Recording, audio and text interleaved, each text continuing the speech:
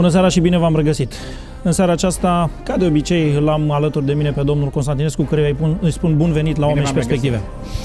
Uh, domnul Constantinescu, dumneavoastră n-ați mai fost de mult prin România, așa este? Nu, n-am mai fost de mult.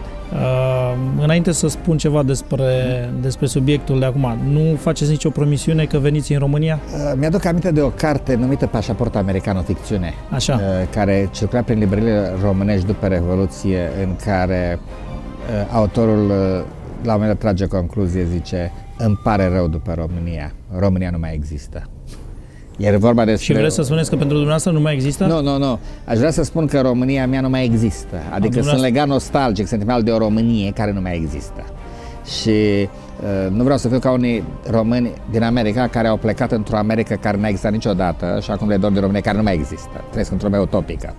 Uh, mi-e dor de România, dar România de care mi-e dor nu mai există. Da, dar mai sunt oameni pe acolo uh, de care sunt convins că vă e dor. Uh, mi-e dor de mulți oameni, uh, foarte mulți dintre ei sunt deja în străinătate, românii s-au risipit în toată lumea, am încă prieteni în România, dar dacă aș vrea să vizitez toți prietenii în România, ar trebui să încojor pământul ca Magellan. Haideți totuși să le promitem că ajungeți odată până acolo. Promisiunea te leagă și e greu să promiți. Păi tocmai asta e ideea. Te gândești 5 minute înainte de a face o promisiune. Da? Doresc o vizită în România, mi-e dor de România, dar nu mă grebe să promit. Aveți multe, multe invitații și din România știu, și din alte știu. părți ale da, lumii. Da, ă, așa cum am spus, prietenii mei din România sunt toată lumea, așa că e greu să-i vizitez Vă place mult uh, Chicago, am impresia. Uh, îmi place, îmi place America, îmi place America. Da. Uh, nu vreau să vă forțez să faceți da. o promisiune aici în direct, dar uh, poate că în, va veni și ziua aceea când... Uh, Sau noaptea, mă rog. Da. păi de obicei se, se pleacă noaptea de aici, din Chicago. Uh, în seara aceasta vreau să vorbim de mm, preocuparea aceasta tot, tot mai intensă privind sănătatea. Uh, chiar și în România a ajuns așa la chiar modă, și chiar și în România a ajuns la modă uh, ideea unei, unei um, mai, mai bune atenții în ceea ce privește alimentația, exercițiu fizic. Au fost chiar și uh, campanii, dacă vreți, cu privire la exercițiu fizic, lansate de tot felul de oameni, oameni de sport, oameni de televiziune și așa mai departe. Încep să vezi oameni alergând prin parc sau pe străzi, pe străzi s-au deschis și câteva locații unde, e adevărat, e destul de scump, foarte scump chiar, mai scump decât în Statele Unite, cu mult, mult mai scump, uh, dar poți să te duci să alergi, să faci exercițiu, să faci în not și așa mai departe. Uh, este doar o chestiune de modă sau este o necesitate? Eu cred că e o problemă de supraviețuire.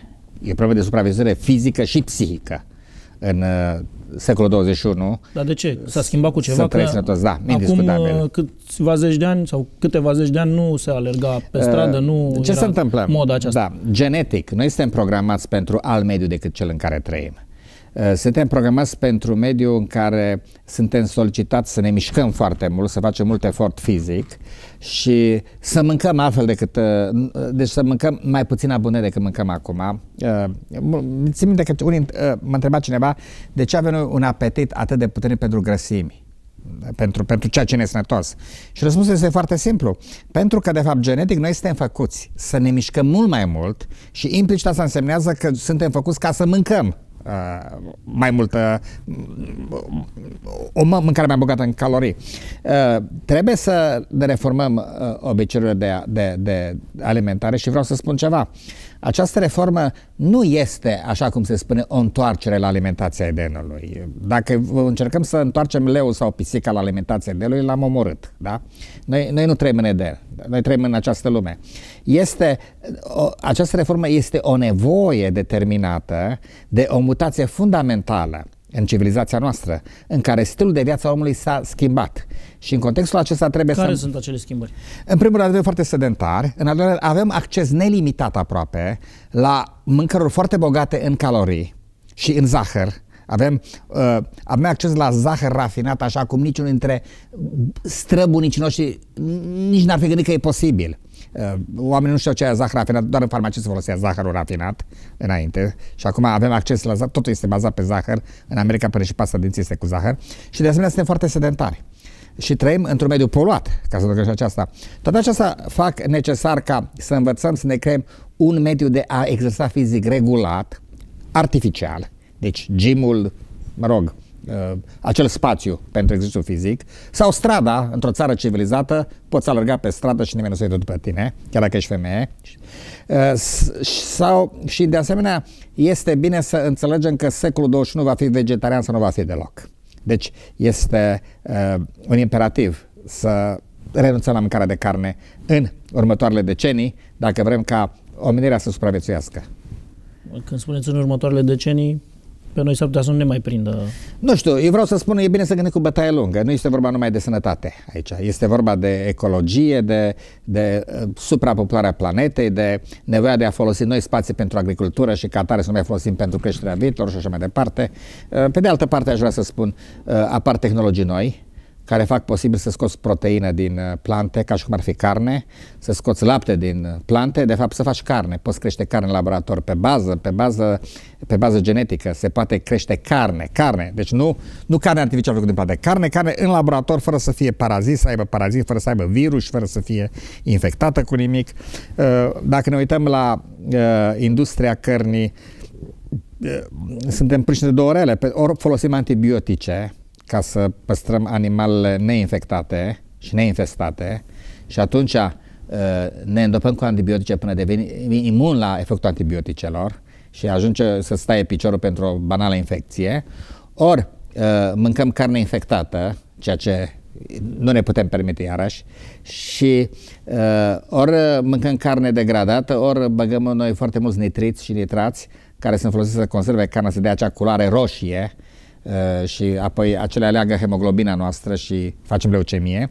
Deci suntem prinși într-un cerc vicios din, din care, a, care există o singură ieșire, anume să se renunțe la a sacrifica animale pentru a le mânca, ceea ce între noi fie vorba este și foarte inuman, pentru că acele animale au un psihic și au o inteligență rudimentară, dar pricep ce li se întâmplă și animalele acelea se uită la noi pentru protecție pare naiv ce spun și sentimental, dar și acesta este un aspect etic. Între noi fie vorba, nu se va întâmpla niciodată.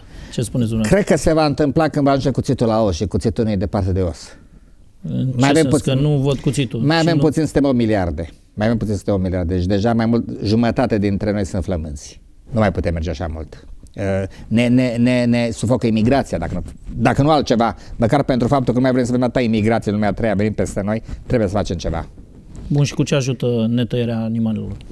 Dacă spații, deci dacă investiția care se face în creșterea animalelor ar fi folosită pentru a cultiva uh, uh, nu numai pentru a cultiva plante, pentru a dezvolta o industrie de prelucrare a plantelor în așa fel ca să-ți oferă uh, uh, necesarul de proteină și de, de, de, de nutriente, uh, fără să tai animalul.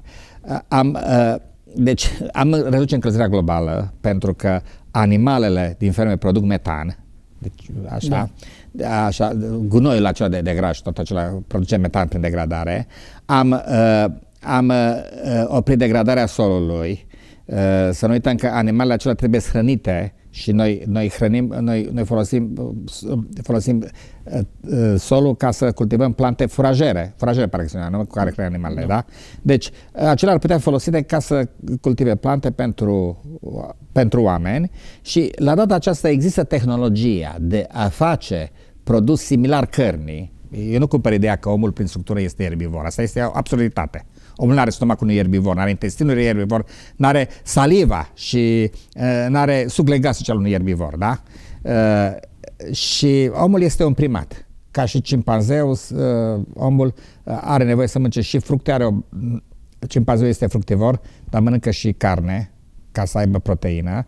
Deci eu cred că omul are nevoie de carne, să nu spunem ei cineva că Adam și Eva ne trăiau fără carne, și Leo trăia fără carne de den, așa că asta problema este încheiată și nu poate trăi fără carne acum. Uh, omul are nevoie de carne, dar carnea poate fi înlocuită. La tehnologia modernă, uh, nu numai uh, tehnologia tradițională care făcea tofu sau produse din soia.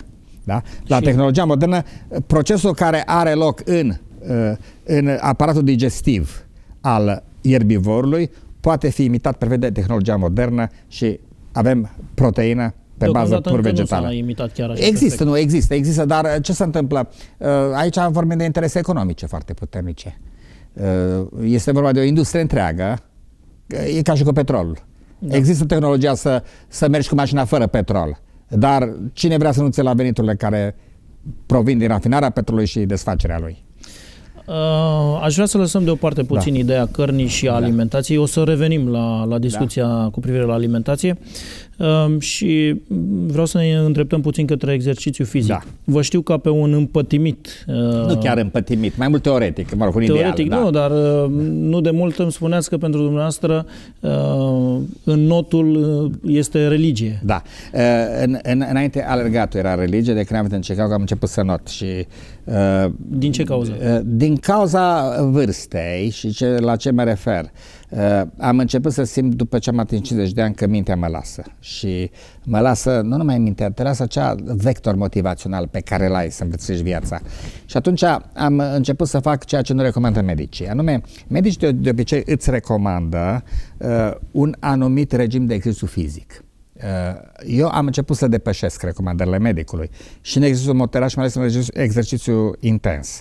Și uh, uh, paralel, am început să simt că îmi face bine, dar în același timp am dat de niște studii făcute la Universitatea din Indiana, care de fapt au, m-au, m-au, m-au interesat și mai mult după ce americanii au bătut câteva recorduri la Olimpiada din Beijing. Dar e normal ca să treci peste sfatul medicului. Aici este problema. Ce se întâmplă? Americanii au reușit uh, în știința notului, au dezvoltat o știința notului, dar mai mult spre not, de fapt.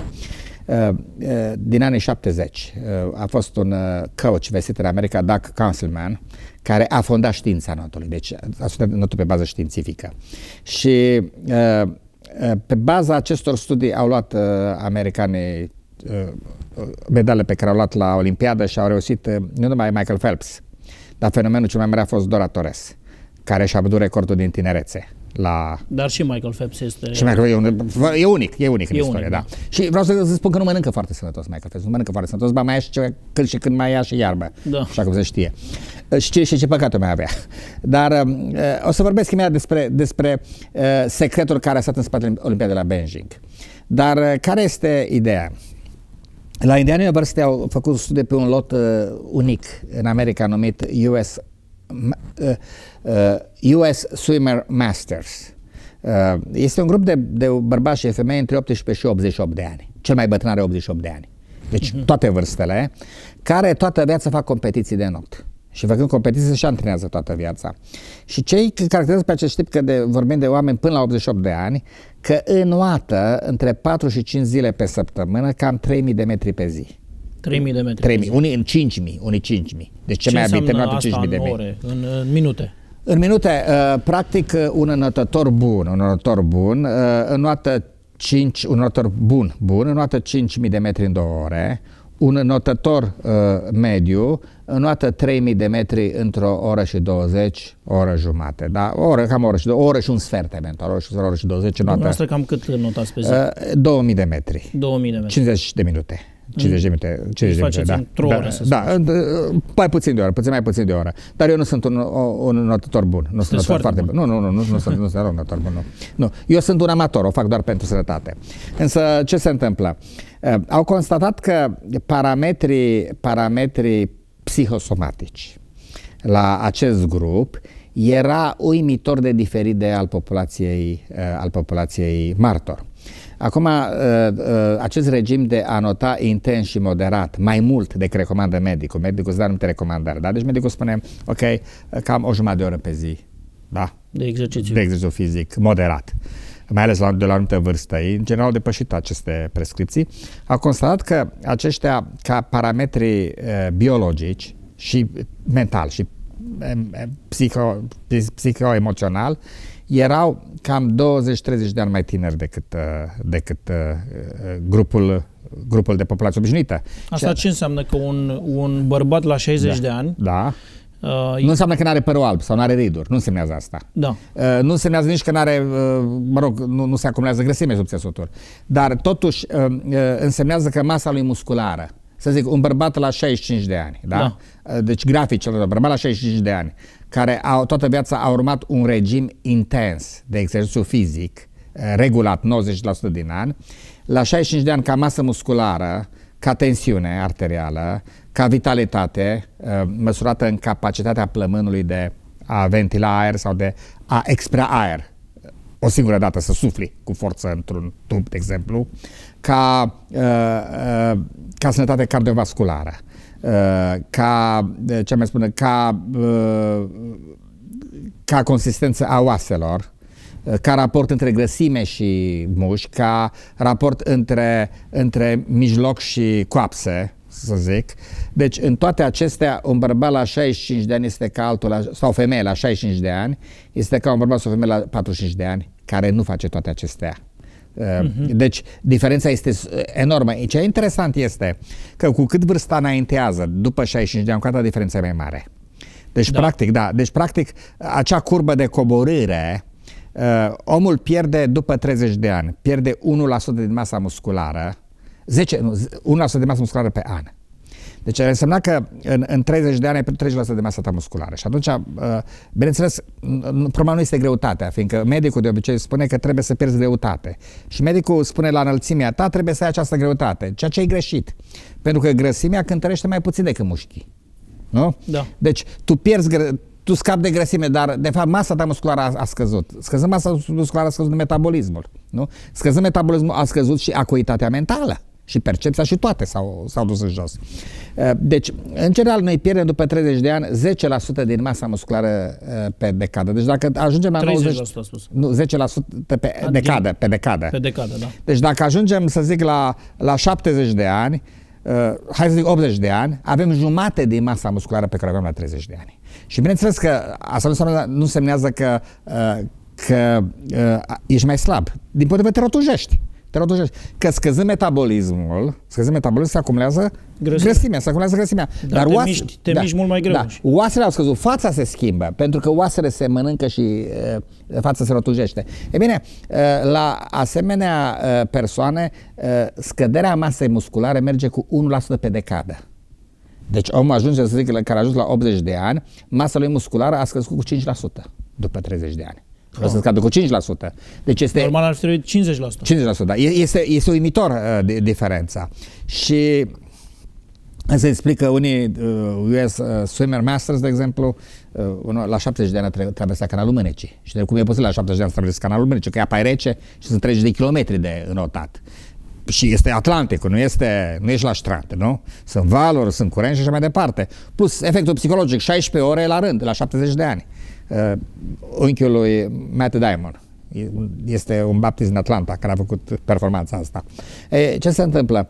Omul poate să funcționeze, să fie sănătos, să gândească, logic, să nu fie sclerozat. Uh, nu ești un Adonis, dar poți urca scările, poți coborâ, poți să scar bagajul, adică ești funcțional la 90 de ani. Uh, în general, după 90 de ani, după 90, cine a trecut de 90 de ani, de obicei are șanse mari să atingă 100 pentru că cei care nu ating 100 mor până la 90 de ani. Deci uh-huh. aș vrea să spun eu o veste bună pentru cei care au trecut, se apropie de 90 de ani. Uh, dacă ați atins această vârstă, însemnează că aveți șanse să atingeți 100 în, în, în timpul în care trăim noi acum. Bun, deci ideea este, în privința sănătății mentale, ceea ce este și mai interesant este faptul că acest grup de oameni care sunt foarte activi fizic, sănătatea lor mentală merge în sus, nu scade. Există un declan al sănătății mentale. Deci, să nu fiu înțeles greșit că spun sănătate mentală, oamenii înțeleg multe lucruri. Da. Este vorba de, de, de uh, prezența depresiilor, de irascibilitate, de lipsa de capacitate de concentrare, de lipsa de gândire logică și coerentă, de, de, de lapsusuri, de, și așa mai departe, golul de memorie. Ori toate acestea uh, par cu vârsta. Interesant că din punct de vedere mental, ca sănătate mentală, cei care activează fizic, intens și moderat, dar mai ales intens, toată viața lor, au, un, un, au o curbă care merge în sus ca sănătate mentală. Deci nu numai că n-au un declin în sănătatea mentală, ci din ce curba este mai... ascendentă, curba este ascendentă, da. Ei sunt fericiți, sunt bine dispuși, plini de viață, încă gândesc, încă activează, lucrează. Deci acestea sunt, uh, sunt uh, uh, concluzii uh, la care sus pe bază științifică la Universitatea din Indiana. Și vreau să spun uh, că așa cum se întâmplă când faci o mașină bună și ca să dovești că e bună, tu faci o Formula 1 și, și pe baza ei și mergi la curse și câștigi uh, uh, Le Mans sau mai știu eu unde în același fel, la Olimpiada din Beijing, criteriile științifice de la Universitatea din Indiana au fost folosite. Da. Și, Înainte de da. mi se pare foarte interesant să, da. să câștigi cum ar veni 20-30 de ani da. în viață Bine, diferență Numai față că oamenii că spun să câștigi 20-30 de ani se gândesc să arată ca un Adonis sau ca, ca un făt frumos. Nu, să uite fe, e, vorba mai mult nu de... e vorba de așa ceva, nu e vorba de așa ceva, da. E vorba mai mult de, de modul în care gândești și spiritul pe care, pe care îl ai. Și, și urmă, energia și, fizică, și energia și vitalitatea, fizică, da. vitalitatea și puterea fizică pe care o ai. Adică nu ai puterea unui tânăr, dar ai rezistența și vitalitatea și puterea fizică ca să funcționezi, da. chiar la 90 de ani. Uh, când ar trebui să te apuci ca să nu cumva să rămâi în urmă, să te apuci de exercițiu da, fizic? Ceea ce este interesant este că impactul exercițiului fizic se vede cel mai dramatic la vârstă până la 20 și ceva de ani și după 50 de ani. Mhm. Deci, în perioada vârstei de mijloc nu se vede impactul acesta, adică contează. Dar uh, omul are niște rezerve pe baza căreia Practic, trăiește. după 50 de ani se vede ce ai făcut între până la 50 da, de ani. sau ce începi să faci atunci. Pentru că dacă cineva care începe să existe după 50, chiar după 60 de ani, uh, să, să, să cunoaște. Și vreau să mai spun adică aici... Nu, nu sunt cazuri pierdute. N-ai, nu. n-ai făcut exercițiu nu, nu, fizic nu, până la 40, nu, nu, 50, din potriva, din potriva, de pentru că degradarea începe după 50 de ani cu adevărat și atunci poți să o stopezi. Uh, un alt, sau după 60 de ani. Nu e cam târziu să te apuci de nu, nu, alergat nu, la vârsta nu, aceea? Nu, nu, niciodată nu. Uh, pentru că uh, ce se întâmplă, eu cunosc mulți care s-au apucat să alerge după 50 de ani ca să scap pierde greutate și au devenit adictivi la alergat. Fiindcă, uh, pentru că impactul care psihic e atât de puternic, încât după un timp uh, devine ca un drog, ca o adicție. Uh, mai ales alergatul care are acea stare de high, când se secretă multe endorfimene în organism, mai ales când încep să doară încheieturile și atunci organismul are nevoie de anestezie și uh, ești ca sub efectul unui drog, realmente, dar nu, nu este un drog toxic. Uh, e ceva interesant aici, aș vrea să spun un lucru, iarăși uh, e vorba de, de secrețiile noastre interne. În general, uh, deci, rezistența noastră la presiune psihică, la stres, este determinată de anumiți hormoni care se secretă în organismul nostru, care sunt în principal adrenalina, non-adrenalina, cortizonul, care ne, ne fac, care se secretă ca răspuns la, la stres. Un regim de exercițiu fizic uh, este un exercițiu de rezistență la stres. Pentru că ce se întâmplă? În momentul în care, de exemplu, să zic, uh, eu alerg și încep să urc un deal și fac un efort, adrenalele mele sunt solicitate pentru că am nevoie de mai multă adrenalină și endorfine care să, să, să-mi țină spiritul sus ca să, ca să completez până vârful dealului. Când alerg, adrenalele mele se odihnesc. Când alerg la vale, adrenalele mele se, se odihnesc. Adrenalele mele se odihnesc. Și practic îmi educ adrenalele că atunci când este forță de a totul și se măresc, ele se măresc ca volum. Și atunci când mă odihnesc să se oprească. Oamenii neantrenați, atunci când se odihnesc, adrenalele lor nu se opresc. Sunt ca un romet care continuă să picure. Pic, pic, pic, pic, are garnitura stricată. Și omul tot timpul e neliniștit, tot timpul e agitat, tot timpul e anxios, are ceva. Fiindcă adrenalul lui tot timpul lucrează. Ori la oamenii puternici, atunci, Napoleon, de exemplu, înaintea unei bătălii, el dormea. Da? Dacă avea o pauză 10 minute în bătălie, putea să doarmă, să tragă un somn 10 minute. Pentru că oamenii puternici au un sistem de secreție interne care atunci când nu este nevoie nu sunt solicitați, uh, este liniște în organism. Când sunt solicitați, dau tot ce, ce au. Și adrenalele însă se antrenează să se măresc atunci când mergi de al vale sau când faci, când joci tenis, de exemplu. Alergi, pac, dai minge, probabil moment de relaxare, ai pauză între două, două, două cum se mai numesc, reprize, nu? Da. La tenis. Bun. De exemplu, un tenismen, să zic. Un tenismen este un tip care uh, dă totul, deci are nevoie de forță explozivă și apoi se odihnește. Practic, adrenalele sunt altfel decât la un obișnuit și un om care practică tenus regulat la fel sau aleargă în intervale regulat, să zic, uh, chiar pe un treadmill eventual, sau nuată intervale, adică intens și moderat, intens și moderat, are adrenalele altfel decât ale unui obișnuit. Sunt mult mai puternice și în același timp sunt, uh, este capabil să își regleze secrețiile interne pe bază psihică. Mari sportivi au ca, caracteristica asta că atunci când sunt uh, uh, în cursă, ei automat poți să intre în acea stare care se numește, american numesc the flow, în care curgi, totul fără efort, fără efort.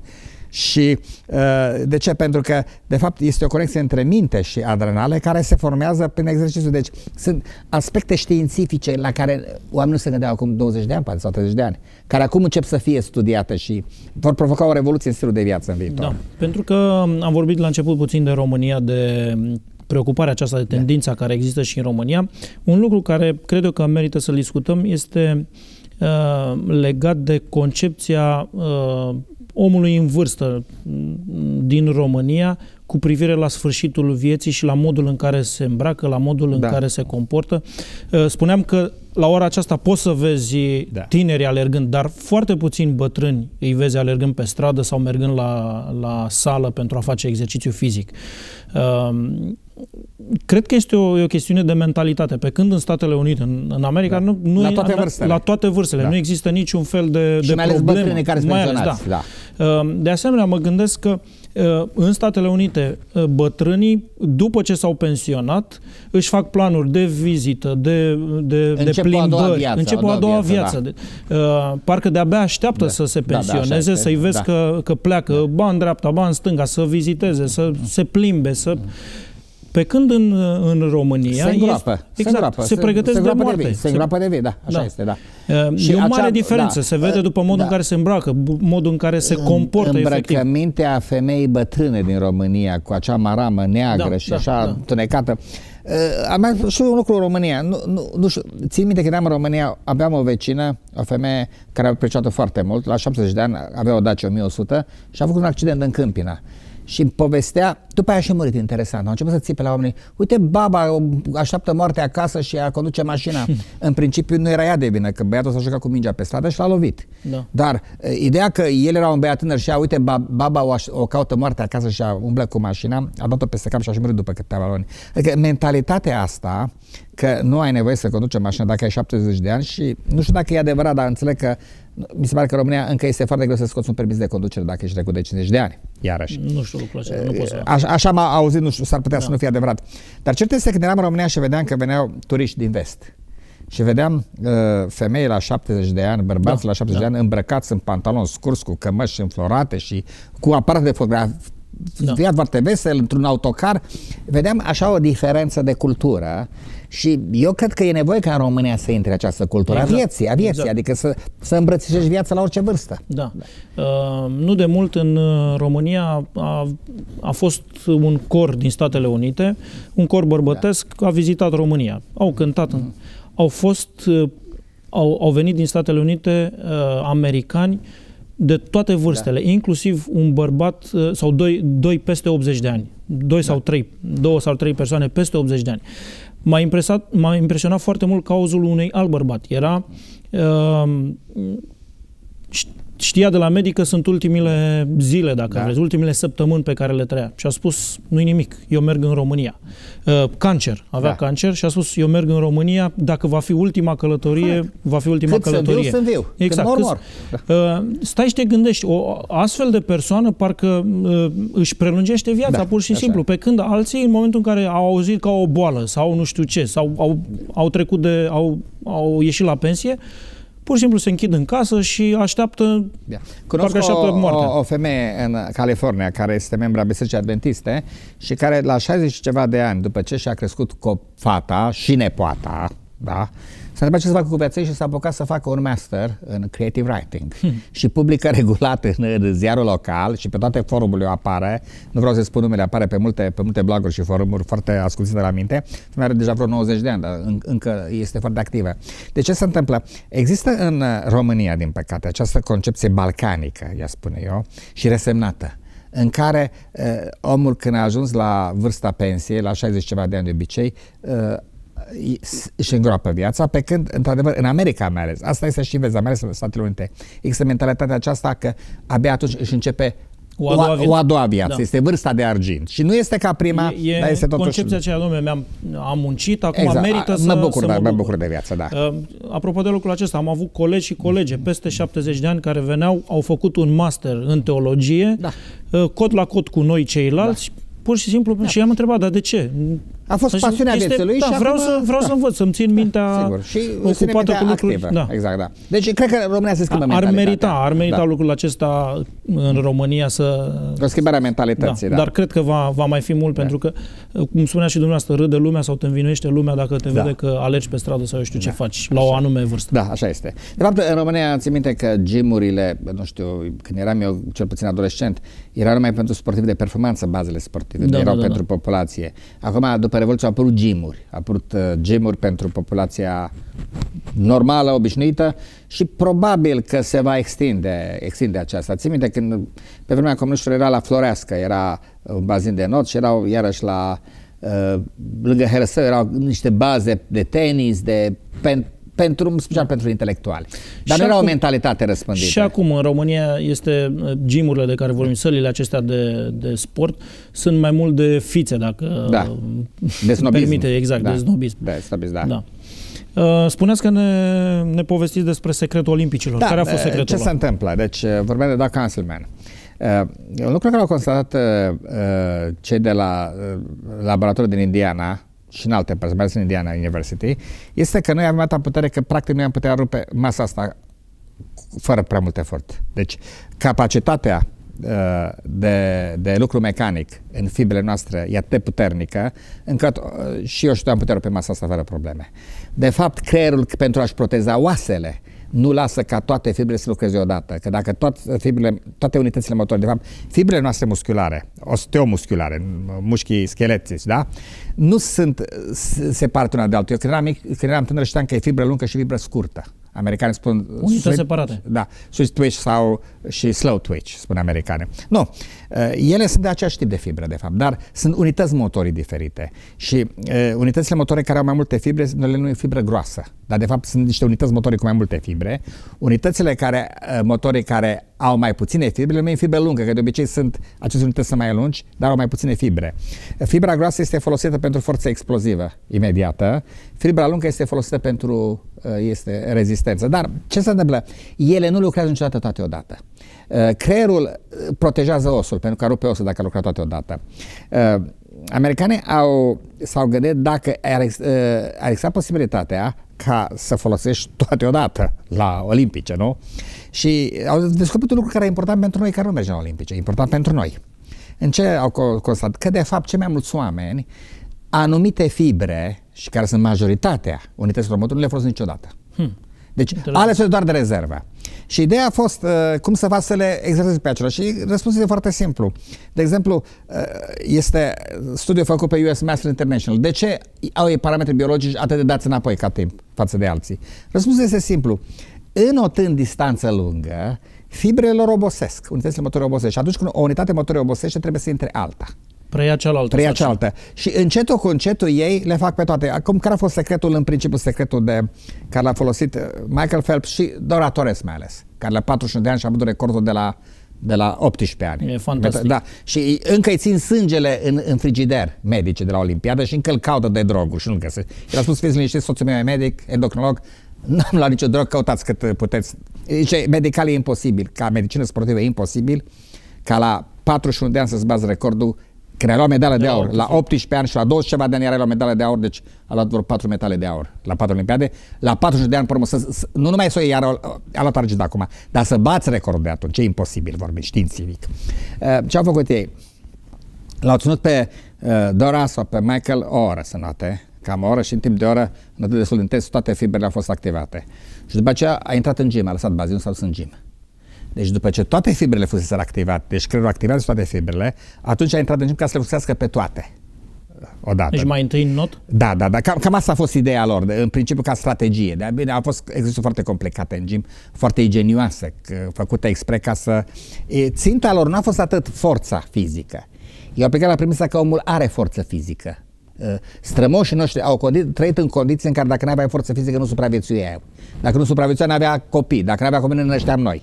Deci presupune că strămoșii noștri au putut să se cadavi să se bată cu leu și cu ursul. Adică au fost oameni foarte puternici, că altfel nu lăsau urmași.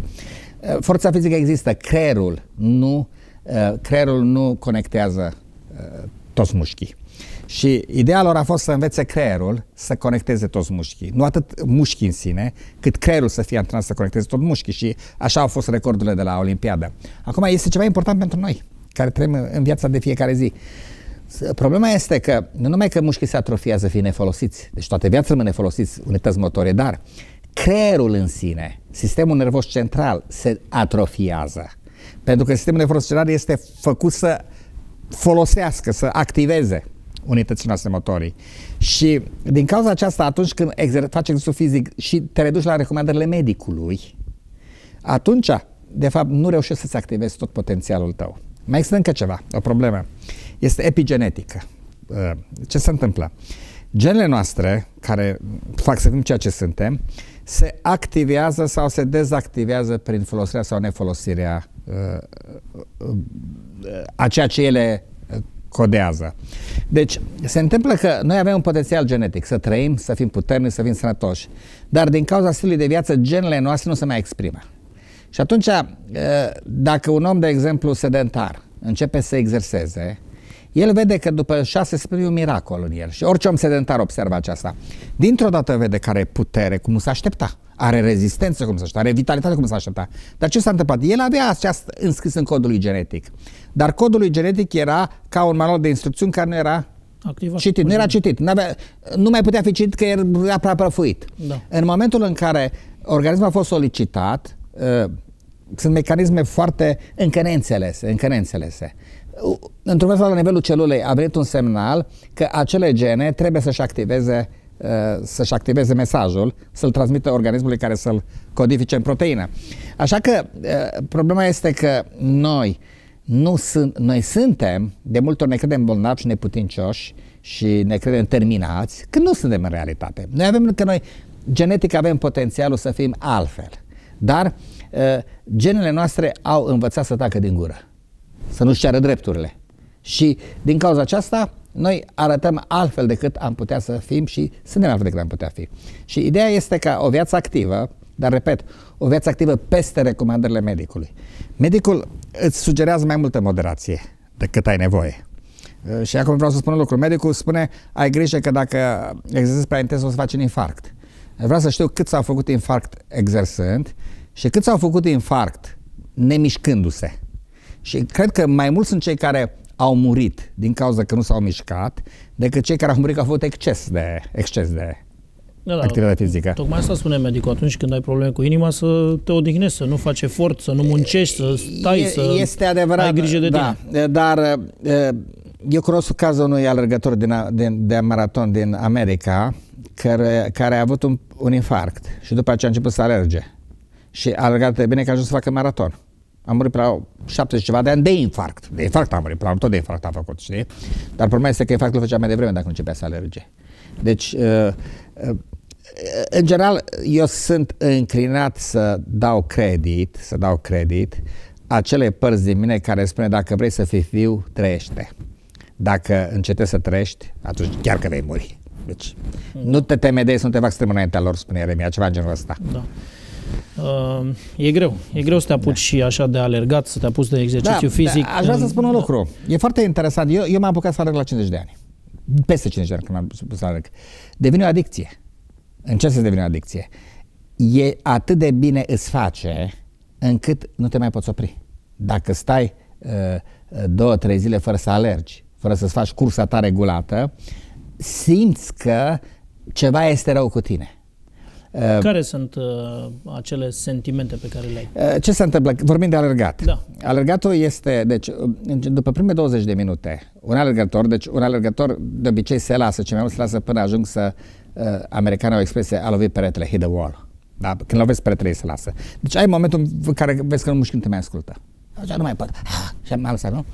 Dacă treci de acel moment, medicul îți recomandă să nu treci dacă treci de acel moment, se întâmplă în organismul tău o schimbare încă necunoscută pe de, numită second wind, uh, vânt, uh, vânt nou în pânze, cum ar veni. Uh, în principiu se, se pare că este o secreție de, de, de hormoni în, în tine, dar fenomenul pe de bine explicat. Dintr-o dată simți ușor și simți că poți să mergi. Poți alerga pe o oră, două, trei, patru, poți să faci un întreg maraton, nu mai obosești. Deci dacă ai depășit momentul acela, nu, nu mai obosești. Nu vine să cred. Da, nu, așa, asta este adevărat. Rău este, greu este până ce organismul este foarte încăpățânat să treacă de momentul acela. Cu cât îl trece mai des, cu atât e mai ușor să-l treacă. Dar primele două, trei nu, nu, nu vrea să treacă de, de punctul acela, pentru că organismul spune, ok, eu nu mai pot. Și îți transmite la creier uh, simțământul că nu mai poți. Atunci când l-ai educat și l-ai disciplinat, spune Pavel, mă port aspru cu trupul meu să treacă, organismul în față, când avem la momentul acela că trebuie să pregătească pentru vânt nou. Și atunci ai vânt nou în pânze. Ce se întâmplă după aceea? Uh, există o secreție puternică de, de, de non-adrenalină, de endorfine în organism. Din cauza că încep să doară încheieturile. Și ca să nu simți durerea, Vreau uh, să nu simți oboseala, mai multe motive, nu se știe exact. Omul este în primul rând un alergător, nu un notător sau un boxer. Omul este alergător prin, prin structura lui. E făcut să alerge. În momentul în care uh, secreția asta are loc, intri într-o stare numită uh, pe care o numesc americanii high, running, runner's high, ar veni, uh, cum ar veni marihuana alergătorului sau heroina alergătorului, a spune, sau cocaina alergătorului. Este o secreție foarte puternică de dopamină, de endorfine, de, uh, în, în creier care fac ca creierul să fie într-o, într-o stare uh, puțin alterată de conștiință, în care uh, îți face foarte bine că poți medita atunci, poți reflecta la problemele tale, poți să te uh, abordezi problemele cele mai dificile, fără să deci cu, cu o stare de, de detașare. Uh-huh. Atunci, alții, ceea ce alții rezolvă bând vodka sau fumând, o poți rezolva devenind mai sănătos. Nu? Creierul e foarte bine oxigenat, bineînțeles. Nu? Și uh, mulți alergători sunt adictivi la alergare din cauza acestei stări puțin alterate de conștiință în care efectul este ca atunci când cineva, să zic, ia un drog chimic, fără să fie toxic, bineînțeles, din potrivă, este o dezintoxicare. Dar efectul în creier, drogurile chimice, de fapt, ce fac drogurile care le iau oamenii? De ce sunt adictive la ele? Drogurile fac să, ca o secreție de dopamină puternică să aibă loc pe bază chimică. Deci, în loc să aibă loc în mod natural, că ai reușit să faci ceva, că ești bucuros, că ai, ai trecut peste o mare greutate, atunci ai așa un, un simțământ de euforie, generează asta pe bază chimică.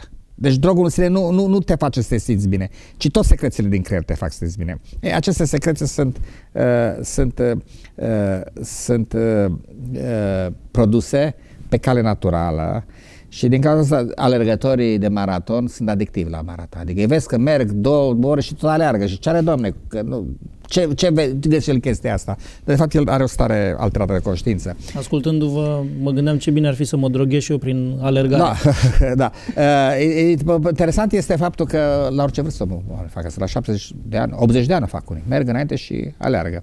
De fapt, uh, uh, în Hawaii se face în fiecare an Ironman, care este uh, diabolic dacă te gândești. Și vezi acolo iarăși oameni toate vârstele. Adică uh, înoată uh, șapte mile, deci când vine asta în kilometri. Peste 10 km, peste 10 km, peste 10 km da. de not în ocean. După aceea sunt 120 de mile, dacă nu mă știu, de bicicletă și apoi este un maraton de alergat. De obicei uh, să pleci dis dimineața și să pleci după, la miezul nopții. Uh, sunt foarte mulți care participă la aceste uh, competiții. Pare de, de necrezut, dar de fapt organismul are resurse. Între ce vârste? Toate vârstele. Nu, nu, nu, nu e limită și de vârstă. Și nu sunt uh, nu, nu profesioniști de, de... Nu, nu, sunt, sunt amatori. Dar amatori. trebuie să califice pentru la alte triatloane. Deci triatlon se numește proba. Dar ce vreau să zic, uh, noi toți avem resurse. Nu trebuie neapărat să facem, dar avem resurse. Deci foarte puțini oameni nu au resurse. Uh, strămoșii noștri, repet, trebuiau să alerge, să umble, Asta dovedește cât de mult, cât de nenatural este nostru de viață. Strămoșii noștri erau oameni care zeci de kilometri pe zi mergeau, alergau. Uh, umblau, uh, erau tot timpul într-o permanentă activitate fizică. Noi avem genele lor, dar nu avem stilul lor de viață. Și atunci, aceste gene care lucrau în favoarea supraviețuirii la ei, la noi lucrează pentru moarte. Se întorc împotriva noastră și ne, ne, ne distrug. Și ne fac să mâncăm ceea ce noi nu avem nevoie să mâncăm, din cauza stilului nostru de viață foarte, foarte sedentar. Foarte interesant. Uh, cei care muncesc din greu E nu, tot una exercițiu fizic cu munca... Da, nu există în secolul nostru muncă fizică uh, care natural... Uh, de fapt, vreau să nici măcar agricultura nu este o muncă naturală pentru corpul nostru. Natural pentru mine este să alerge, să umble, să se cațere, să nuate, eventual să arunce cu pietre. Deci astea sunt mișcările naturale. Să nu uităm un lucru, agricultura s-a dezvoltat în Sumer, în Egipt, dar cei mai mulți dintre noi, uh, până acum 2000 de ani, nu făceau agricultură.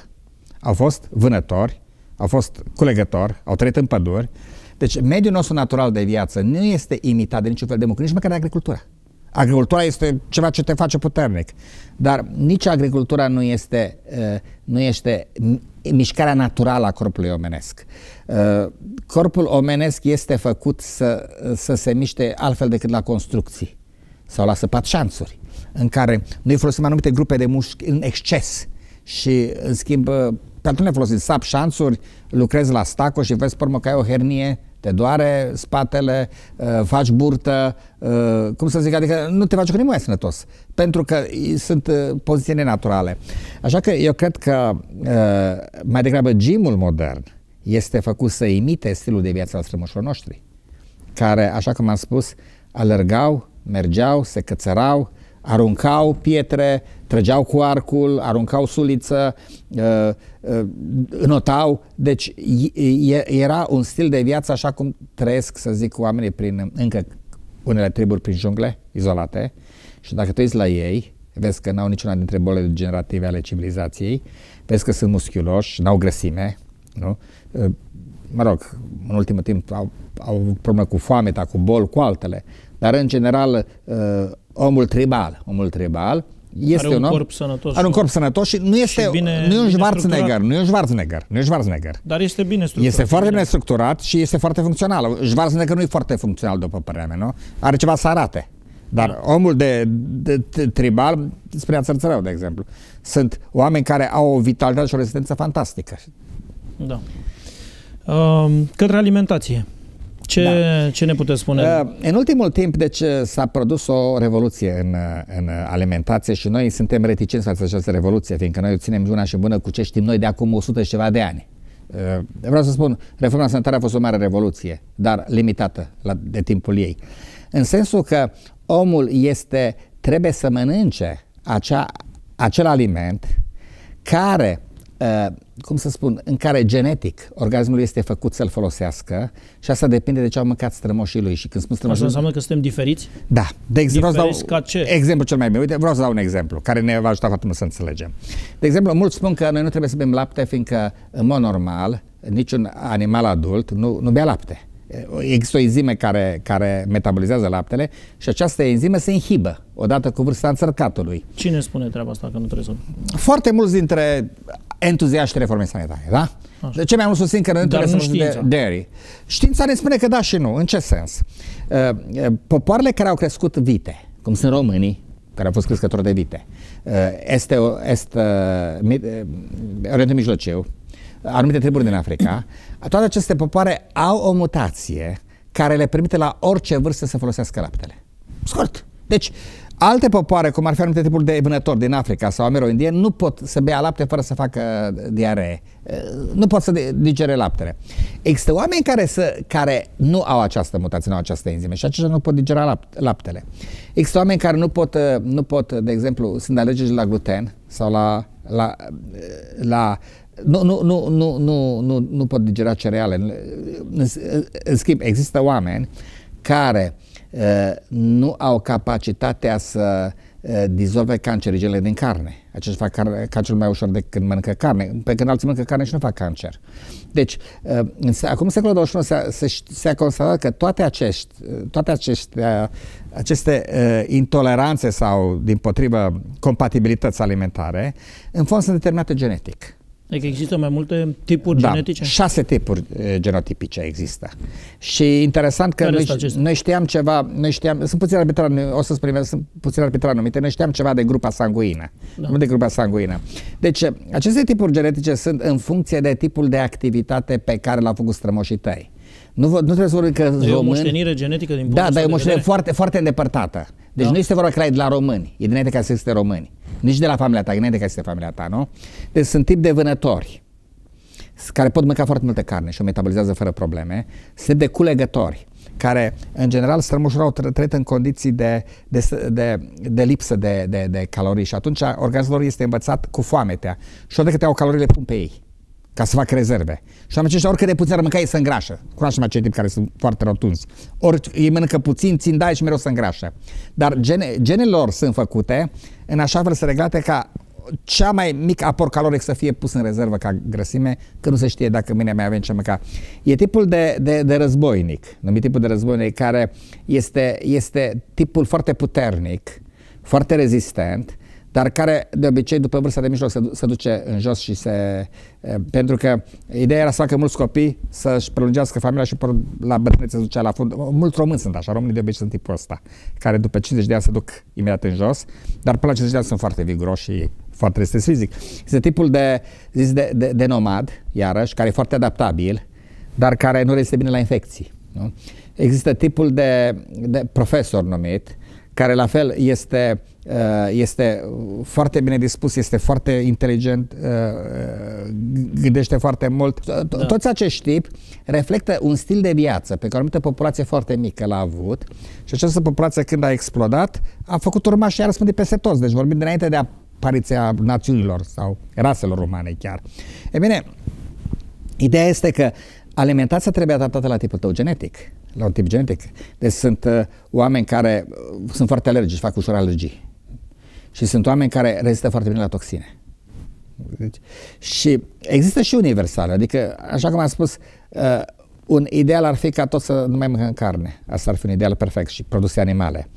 Altceva este că uh, Uh, unii, de exemplu... Da, da, dacă noi am fost strămoșii noștri, cum spuneați dumneavoastră, da, ideea, au mâncat da, carne... Ideea este că omul metabolizează carnea foarte bine, dar acum problema cu mâncarea de carne nu este doar dacă metabolizezi sau eu nu sau uh, carnea bine sau nu. E vorba de industria cărnii uh-huh. și de creștere animală. Sunt multe probleme etice și sociale care uh, cer ca noi să devenim vegetariani.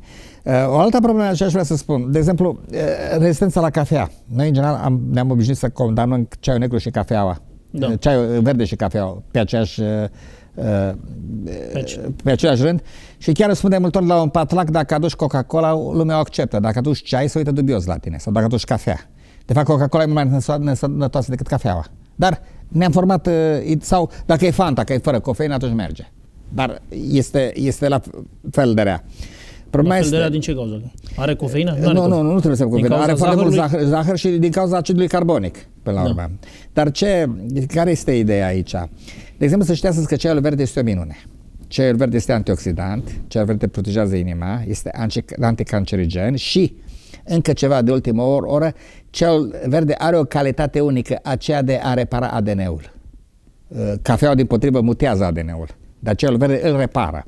Deci, uh, atunci când celulele se mulțesc, celulele moare, lasă urmași. Și adenul se copiază la celălaltă, dar adenul se copiază de obicei cu greșeli. Ceaul verde îl repară. Deci ceaul verde este, mă mine, încă ceva, este un foarte bun substitut al cafelei. Cine are nevoie de energie, decât să bea cafea, bea ceai verde, are numai 30% cofeine cât cafeaua, dar în schimb, uh, proprietățile pe care le are uh, bat efectele negative ale cafelei, care de fapt nu sunt egale la toată lumea. Încă ceva, cel verde decafeinizat nu are aceleași efecte pozitive. Deci cel verde trebuie băut natural, așa cum este. Celul negru nu are efectele celui verde. Da, da, da. Cel negru nu, nu are efectele celui verde. În privința cafelei, uh, adevărul este că nu toți sunt la fel de sensibili la cafea. De exemplu, sunt oameni care, uh, în general, sunt foarte sensibili la orice toxină.